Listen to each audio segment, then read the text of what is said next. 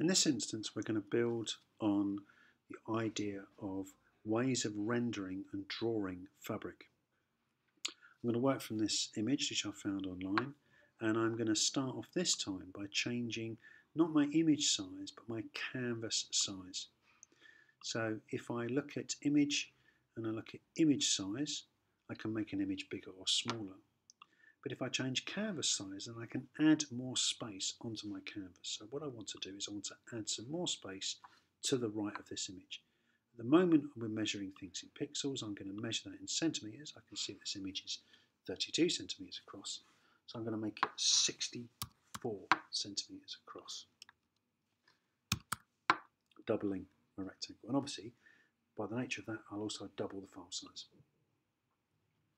Okay, this time I'm going to draw with my drawing tablet, which is a Huion uh, signature tab, which was £19 on Amazon. And I'm going to start by finding my brushes. And I'm going to think about the size of my brush. So what kind of brush I might use the size of the brush and the colour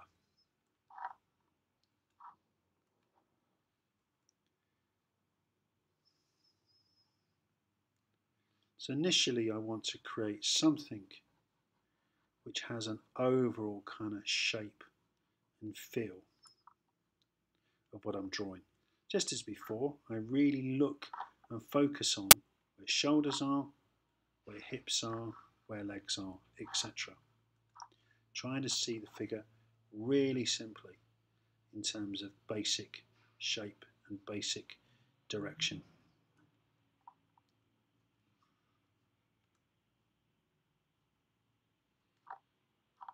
The moment I'm working with uh, a brush which is set to 100% opaque. So I'm going to change the uh, opacity of the brush, start to change my colour,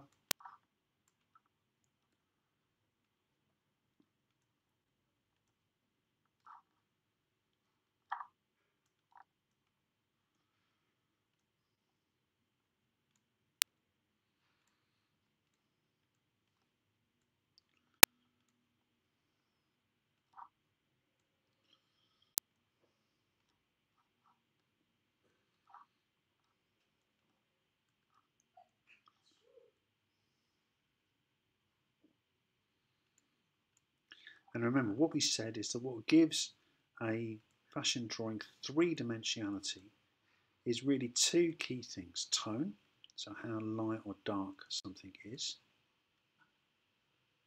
and contour, what direction is the plane falling in.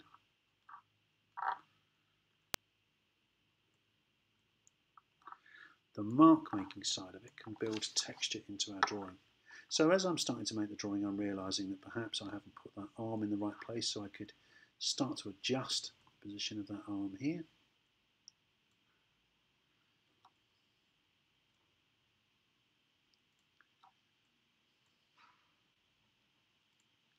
And what it might be quite nice is to put a background into this as well.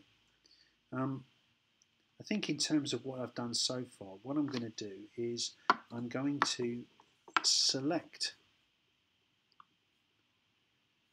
the figure on here. So I'm going to click and drag over what I've done so far. I'm going to copy that and I'm going to paste that. So I can now, if I switch the background off, see this as a drawing here. And I'm going to use the magic wand tool to click and delete the white background.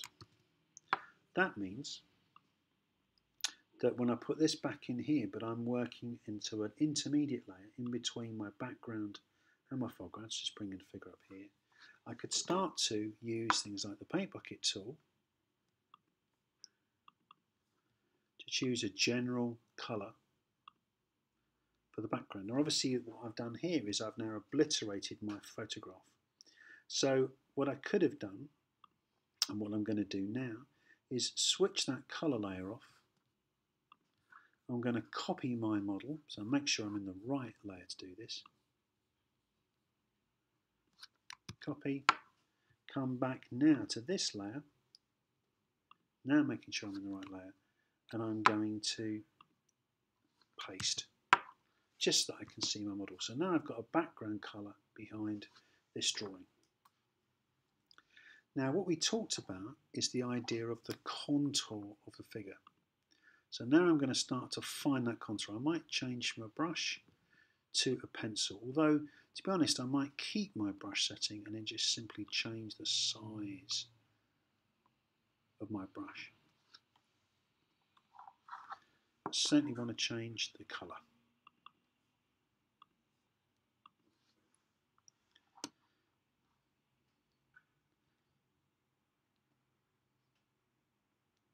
So this is where we can start to think about how do we see this textile? What bits of the textile do we notice? What's the direction of the plane?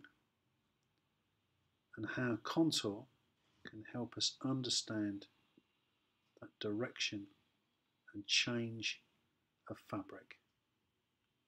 So here we're really looking carefully at those changes of line direction.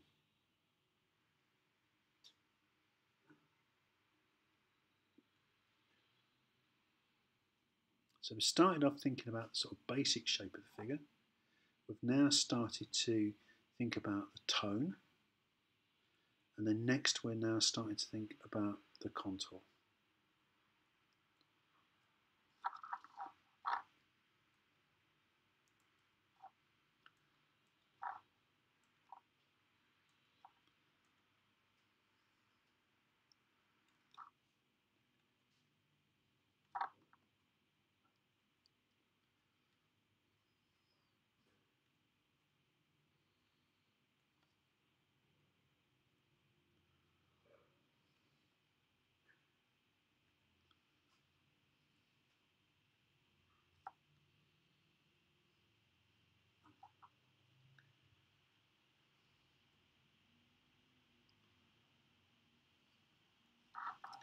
Obviously now we've started to work the drawing, we can also work back into the drawing in a number of ways.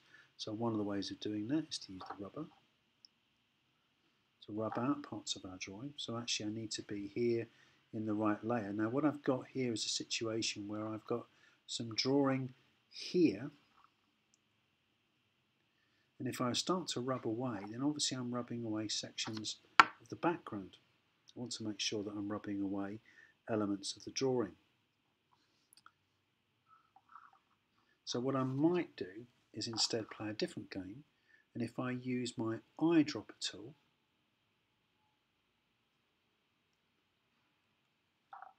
if I'm working in this layer I can choose the background colour. So now that is the same colour as the background.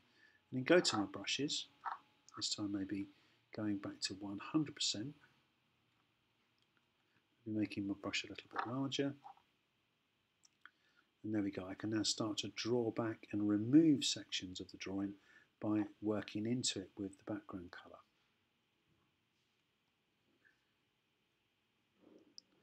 This would enable me to sort of tweak the edges of my illustration. Changing now back to a different colour.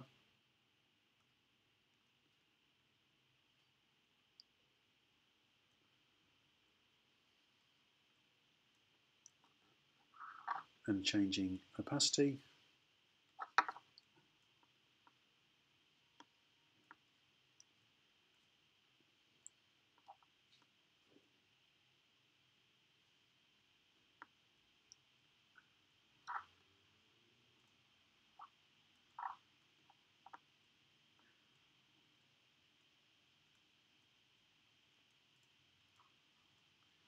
It starts to give me another dynamic part of the drawing.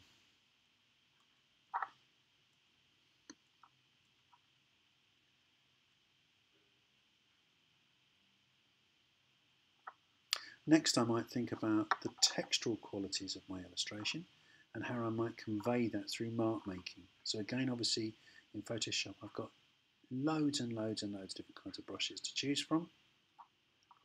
I can choose different sizes of brush. In this instance I want something quite small and as I'm drawing with a drawing tablet anyway I've got a much greater manipulation of line width.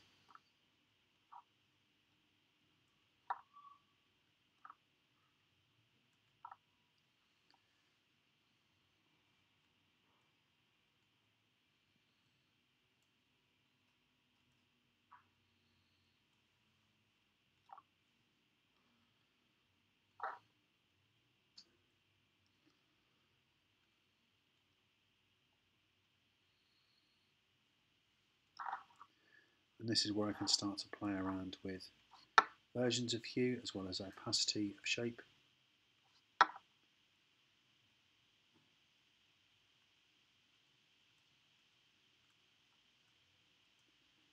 To try to create this sort of textural version of events.